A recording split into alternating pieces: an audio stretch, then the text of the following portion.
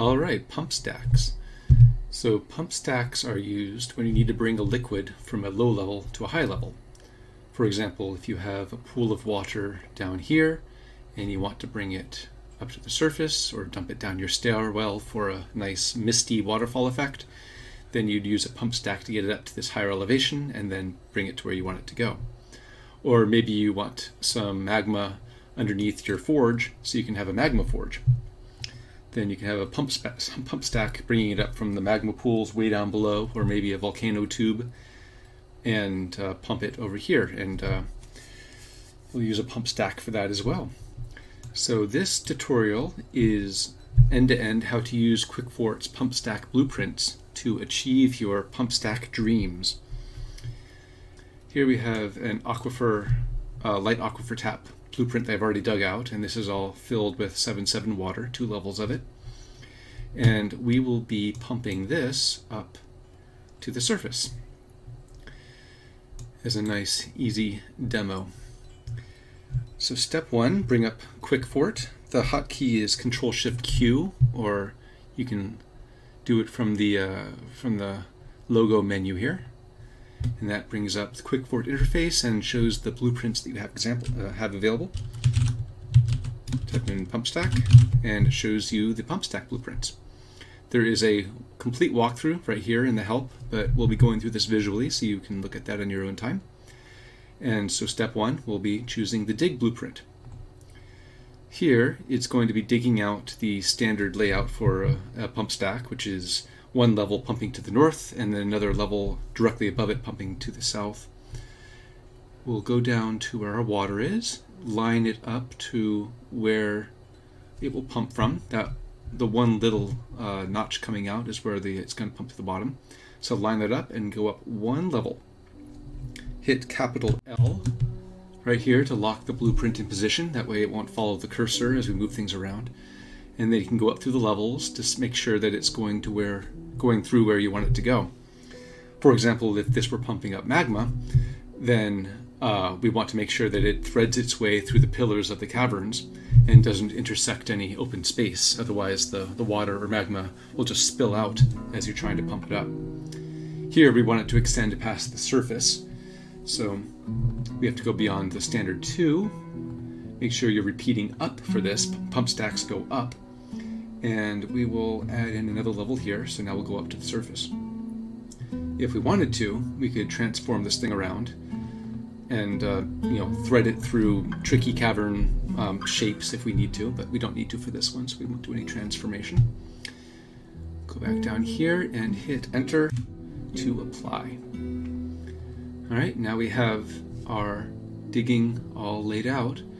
Note that Eventually, we're going to need channels for the actual water to come through the levels, but for right now, it's all flat so that we can address any stone that's left behind here. At the very bottom level of the blueprint, um, we have up-down stairs. We have downstairs throughout the entire thing. But at the very bottom level, we don't need an up-down stair. Let's just erase that and draw back in. We'll turn damp and warm dig on. Uh, draw back in just a regular down stair at the bottom because if this goes through to the layer underneath, say this is you know bringing things up from the magma sea, you don't want any extra holes going down there because magma crabs can crawl right up and into your fort through your stairwell. So get rid of the up-down stair, replace it with a regular down stair. And we will hit go and let our miners run over and do their thing.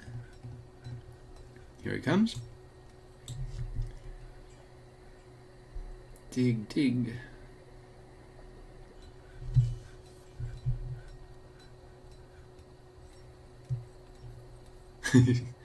and he's vomiting. New in this version of uh, of DF is the return of uh, cave, cave adaptation. So when they return to the surface, they might puke. All right, everything is now dug out. Um, like I said before, if this were through stone layers, there might be a bunch of stone left behind. You want to clear that out because that will be in the way of the pumps. And nice trails of puke going everywhere. Now we will bring up QuickFort again, Control Shift Q, and load up our channel blueprint. Go back down to our bottom level here, and our repeat and transform settings are still saved from our previous instance, so that should be the same. click to channel. The, the channels at the tops and the bottoms are for bringing water up from the layer lower below, and these channels uh, closer to the center are for transmitting power. In the end, we're going to be powering our top level pumps pump right here, and the power will be transmitted down these center channels through the stack to power each successive pump underneath. But again, on the bottom one, we don't want an extra channel here because there is no pump underneath here to power. And let's let our miners go and dig that out. And we've channeled this layer, this layer, and now that one as well. And we're all prepared. Bring up QuickFort one last time to the build blueprint. This is going to actually build the pumps but before I click, we're going to generate the, the orders. Let me uh, preview them first. So this is what it will take to build our pump stack for the number of levels that we have designated. And if we actually generate it, then there it is. They are now going to be in the orders screen. And we'll click right here to set our pumps in place. There they are. Um, every repetition of the pump stack blueprint is two levels. So we have one, two, three, and then we have an extra layer up here, which we're not using. It laid a pump there anyway. Let's get rid of that one. And if you look back at our orders, now here at the bottom we have the orders it's going to take to build this thing. Let's uh, sort, get those up to the top. So while we are building that, let's think about how we're going to power this thing. So this is going to be pumping north, south, and north. So we should connect some power right here. Let us build a couple windmills just around here. We do not need this many, just for a show. And while that is going on, let us build some uh,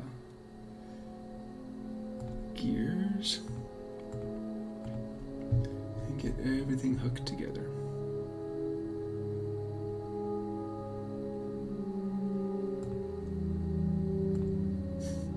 Gears aplenty.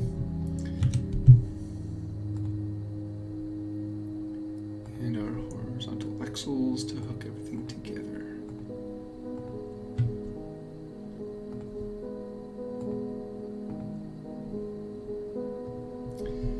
And maybe we'll even want a way to turn this off. So let us build a lever and we'll hook that up to the gear assembly here right next to the screw pump so that if we want to actually not be pumping water, we have that choice.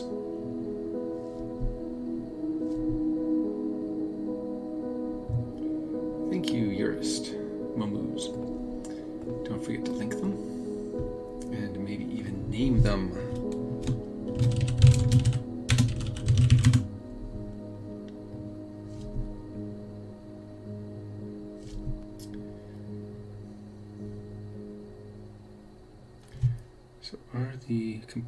Being built? Let me jump down here. Where is my... It's you, yes, building my pipe section and my corkscrew. And some beds, just because. Jump back up here. You see this is already turning. And our mechanisms have, or my our lever has been linked. Let's pull that to uh, disengage it. We don't want it to be pumping as soon as we build it. We want to have that choice on our own. And now this is turned off.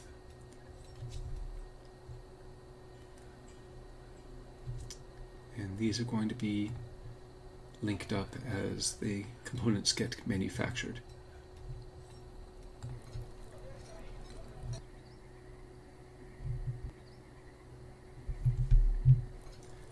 There we have our first screw pump ready to pump from our nice pool of water up one level. This one will get us the next step of the way. There we go. And for short pump stacks, you can even pump them manually and just do it through dwarf power. You don't need to power them. If you have enough dwarves to run all of your pumps just by hand power, then that is a perfectly viable way to do things, especially if you don't need the pump to be running continuously. All right, and our last pump, almost ready.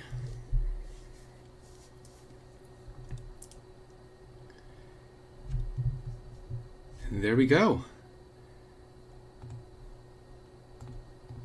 Pull the lever and let us bask in its pumpy glory. There we go. That is our pump stack. Normally, you'd have some sort of controlled method of uh, channeling this water to where you want it to go. We're just letting it spill everywhere.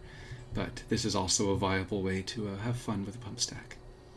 Each layer down here is pulling from the layer below it, and this bottom layer is pulling from the pool.